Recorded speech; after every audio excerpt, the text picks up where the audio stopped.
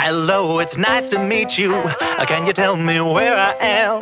I don't know how I got here, but I, I think I'm starting to understand. I don't belong among the angels, and maybe that's just fine with me. The things I did up there were high school, but now I'm going for my degree. Hey, sorry, but you just got.